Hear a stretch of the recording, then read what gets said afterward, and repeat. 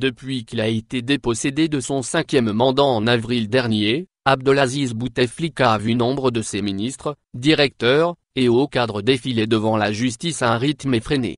Cependant, il manque à cette liste l'élément principal, tenu pour le premier responsable de ces graves dépassements, le président de la République déchu Abdelaziz Bouteflika. Sera-t-il convoqué par la justice? Pourquoi la justice n'a-t-elle pas auditionné le président de la République? Compte tenu des rapports qu'il recevait mensuellement, des décrets et des arrêtés qu'il n'a cessé de signer, l'ex-chef de l'État a son témoignage à apporter. Et beaucoup de révélations à faire. Des vérités qui pourraient certainement aider le corps judiciaire à bien mener ses enquêtes et à travailler avec aise. Le tour de Bouteflika viendra-t-il? Plusieurs questions sont posées à propos de l'ancien président Abdelaziz Bouteflika. Où se trouve-t-il actuellement? Pourquoi le pouvoir militaire entretient-il le secret sur sa personne? L'institution militaire le protège-t-elle? Tout suscite la curiosité des médias et de l'opinion publique. La semaine passée, plusieurs médias algériens avaient rapporté que le général Gay de Salah rendait régulièrement visite au président déchu. Une information qui a fait grand bruit en Algérie. Certains observateurs soupçonnent une mise en scène écrite depuis le début et à travers laquelle les clans du régime auraient trouvé un terrain d'entente. La justice n'a épargné aucun ministre, PDG, directeur, chef de cabinet, secrétaire général, chef de parti, responsable de la sûreté, concessionnaire, et autres cadres de l'État. Tout d'abord, c'est Saïd Bouteflika, ex-conseiller et frère du président déchu, qui a été convoqué par la justice, en compagnon de Mohamed Medienne, dit Toufik, ex-chef des renseignements, et de Hatam Tartag, ex-coordinateur des services de sécurité. Tous ont été condamnés à 15 ans de prison ferme. Ces ministres en prison pour des affaires de corruption Le verdict de 15 ans de prison a également été prononcé à l'encontre de Boudjema Boudoir, ex-directeur central des finances au sein du ministère de la Défense nationale. Ainsi qu'à l'encontre de Muna Nouba, ex-commandant de la gendarmerie nationale. L'ex-commandant de la deuxième région militaire, Saïd Bey, a, quant à lui, été placé sous mandat de dépôt, tout comme l'ex-directeur général de la Sûreté nationale, DGSN, Abdelghani Hamel. Les deux anciens premiers ministres, Ahmadou Yahya et Abdelmalek Sehal, sont aussi placés sous mandat de dépôt pour corruption. D'autres ministres font partie de cette liste des ministres sous mandat dépôt. Nous citerons alors, Amara Ben Younes, ex-ministre du Commerce, Jamal Ould Abed, un ancien ministre de la Solidarité nationale, Teiblou, ex-ministre de la Justice, Amar Roul, qui a occupé le poste de ministre des Travaux publics puis des Transports. Ajoutons ensuite, Abdelghani Zalan, ex-ministre des Travaux publics, Mohamed El Gassi, un ancien ministre du Travail Youssef Yousfi, ancien ministre de l'Énergie et des Mines. Auquel s'ajoute Majbeda, ex-ministre de l'Industrie et des Mines, Sed Barkat ancien ministre de l'Agriculture et du Développement Rural puis ministre de la Santé, et Boudjema Attalé à la tête du ministère du Transport.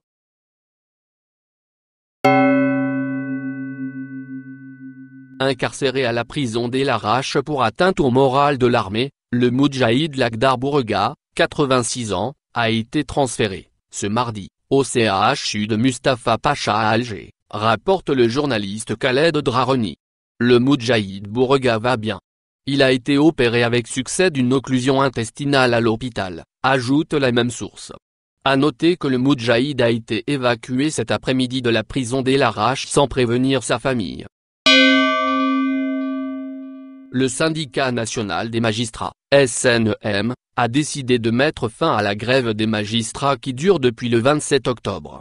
Le syndicat national des magistrats annonce l'arrêt de la grève à compter de mercredi 6 novembre et invite messieurs les magistrats à se conformer au contenu du présent communiqué, indique le SNM dans un communiqué rendu public ce mardi 5 novembre. La décision, précise la même source, a été prise suite à une réunion tenue hier, lundi, au siège de la Cour suprême en présence du premier président de celle-ci comme médiateur, du président de l'Union des ordres des avocats, de celui du SNM et du secrétaire général du ministère de la Justice. Cette réunion est intervenue suite à des efforts ayant impliqué des personnalités nationales et des parties souveraines de l'État pour trouver une issue à l'impasse que vivent les services de la justice conséquemment à la décision prise par le SNM le 26 octobre d'entrer en grève, explique le communiqué.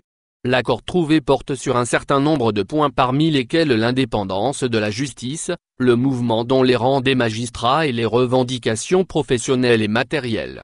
Concernant la revendication de la concrétisation de l'indépendance de la justice dans les textes et dans les faits, il a été convenu d'ouvrir un atelier impliquant toutes les parties concernées par l'enrichissement des textes relatifs à cette revendication, avec une participation active et directe des magistrats, lit-on dans le communiqué. En outre, en vertu de l'accord, les magistrats concernés par le dernier mouvement et qui sont satisfaits de leur affectation, sont tenus de rejoindre leur nouveau poste de travail. Ceux qui contestent la décision sont aussi tenus de rejoindre leur lieu d'affectation mais uniquement pour les besoins de l'installation, sans entamer le travail.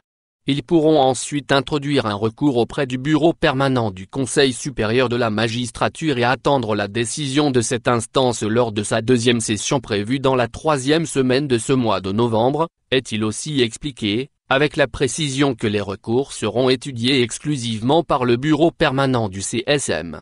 L'accord stipule par ailleurs qu'aucun magistrat ne peut faire l'objet de mesures à cause de sa participation au dernier mouvement de grève. Pour ce qui est des revendications matérielles, il a été convenu de les satisfaire entièrement en décembre prochain, avec effet financier rétroactif à partir du 1er janvier 2019. Tout en indiquant que les instances du syndicat, Bureau exécutif et Conseil national, ont approuvé l'accord, le président du SNM souligne que ces acquis constituent le maximum qui pouvait être arraché dans la conjoncture actuelle. Enfin, et concernant le grave dérapage enregistré à la Cour d'Oran, le SNM exige l'ouverture d'une enquête sérieuse et neutre et s'engage à se tenir aux côtés des magistrats victimes de cette agression avec tous les moyens juridiques et légaux.